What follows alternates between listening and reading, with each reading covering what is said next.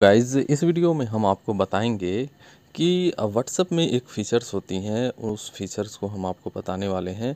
जैसे कि हमें इस नाम से कुछ मैसेज आया तो इसमें हम जैसे होल्ड प्रेस करके रखते हैं अपनी उंगलियों से तो ऊपर आ जाता है थ्री डॉट तो थ्री डॉट पे आपको क्या करना है जैसे आप करेंगे तो यहाँ पे आपको आ जाता है मार्क एज रीड।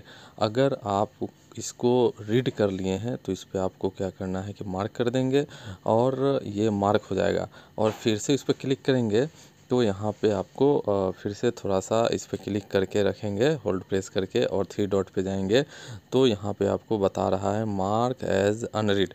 मतलब कि आपने इसको मार्क किया हुआ है रीड करने के लिए, लेकिन अभी तक आपने इसे पढ़ा नहीं है।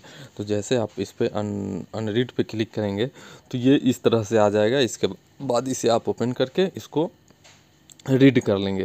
तो यही इसका सिस्टम है और यही इसका गाइज़ इसका पढ़ने का और मार्क करने का मतलब कि प्रोसेस है, जिससे कि आपको पता चले कि कौन सी मैसेज हमने पढ़ा है और कौन सी मैसेज हमने नहीं पढ़ा है। तो गाइज़ उम्मीद करता हूँ कि यह वीडियो आपको अच्छा लगा होगा। अगर यह वीडियो आपको अच्छा लगे तो इस चैनल को सब्सक्राइब करें और इस वीडियो को लाइक करें ताकि इस तरह की और भी वीडियोज़ हम आप लोगों के लिए लेकर आते रहें।